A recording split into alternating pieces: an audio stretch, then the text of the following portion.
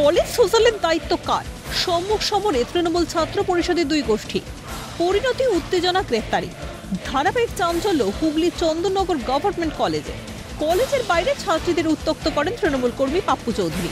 এই অভিযোগে বুধবার চন্দননগর থানায় ডেপুটেশন দেয় চন্দননগর কলেজের তৃণমূল ছাত্র পরিষদ। কিছু ছেলে, তাদের নাম হচ্ছে একজনের পাপ্পু চৌধুরী।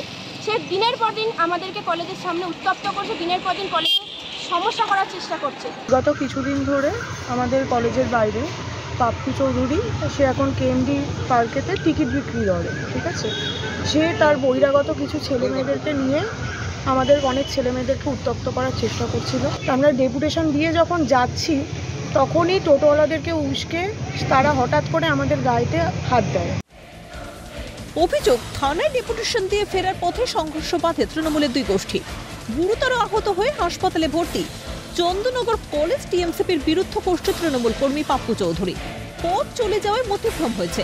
হুগলি জেলা তৃণমূল ছাত্র পরিষদের প্রাক্তন সভাপতির বিরুদ্ধে আক্রমণের অভিযোগ আহত তৃণমূল কর্মীর পদ থেকে সরিয়ে দেওয়া হয়েছে। আচ্ছা।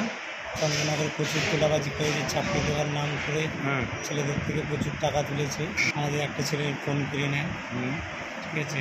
আমি প্রোটেস্ট করাতে আমার ফোনটা কেন নিচ্ছ? আমাকে মারধর করা শুরু করে। আর্মস ছিল। আর্মস দিয়ে আমার এখানে মেরে ফাটিয়ে দিয়ে কি আম ছিল? মেশিন ছিল। গান গান।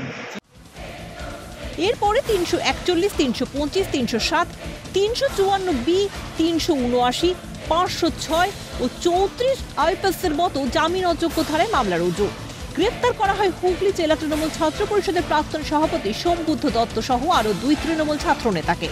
আগামী সতেরো তারিখ পর্যন্ত পুলিশে হেফাজতের নির্দেশ। সম্প্রতি পথ হারিয়েছেন হুগলি জেলা তৃণমূল ছাত্র পরিষদের অন্যতম মুখ সোমবুদ্ধ দত্ত। তার মধ্যে চন্দননগর কলেজ সোশ্যালের দায়িত্ব নিয়ে শুরু হয় টানা টানাপোড়েন দুই গোষ্ঠীর মধ্যে ঠান্ডা লড়াই আরও উস্কে দেয় বুধবারের ডেপুটেশন কর্মসূচি। টার্গেট করা হয়েছে। অভিযোগ, হুগলি জেলা তৃণমূল ছাত্র পরিষদের প্রাক্তন সভাপতির। দু হাজার উনিশ দু হাজার একুশ আমরা বুক পেতে দলের জন্য লড়াই করেছি। আচ্ছা। সেই বুকে এখন এখানকার দায়িত্বপ্রাপ্ত যে আছে সে লাথি মারছে। নবো নবো নবো নবো ক্ষমতার সাথে একটু দেখো তুমি ক্ষমতার অপব্যবহার। নতুন প্রজন্মকে গলা টিপে মেরে ফেলার চেষ্টা। তোমাকে কি তোমাকে কি এতদিন ব্যবহার করা হলো? অবশ্যই। অবশ্যই। আমাদের সবাইকে আমাকেই আমাকে টার্গেট করে করা হলো। পথ হারিয়ে কি বেপরোয়া হয়ে উঠলেন তৃণমূল ছাত্রনেতা? ঊর্ধ্বতন নেতৃত্বের কাছে বিষয়টি পৌঁছে দেওয়ার কথা জানিয়েছেন চন্দননগরের মেয়র। দেখুন, দলের নেতৃত্ব কিছু কিছু জায়গায় পরিবর্তন হয়েছে আমাদের সাংগঠনিকভাবে। তো সেটা তো মেনে নিতে হবে এবং যাদের মানে অসুবিধা থাকবে, নেতৃত্ব এগুলো নিশ্চয়ই নজরদারি রেখেছেন। আমার মনে হয় এটা নিয়ে দলও যেমন তীব্র দৃষ্টি রেখেছেন এবং আমাদের প্রশাসনকেও একদম দলের পক্ষ থেকে বলে দেওয়া আছে যে প্রশাসন, প্রশাসনের মধ্যে তারা কাজ করবে। ইতিমধ্যে রাম চক্রবর্তী তিনি বললেন যে এখানকার চন্দননগরের মেয়র যে দলের ঊর্ধ্বে কেউ নয়, দল এই ধরনের কাজ বরদাস্ত করে না। শুধু তাই নয়, অভিযোগ যে উঠে আসছে সেই ভিত্তিতে ঊর্ধ্বতন কর্তৃপক্ষের কাছে ইতিমধ্যেই খবর গিয়েছে।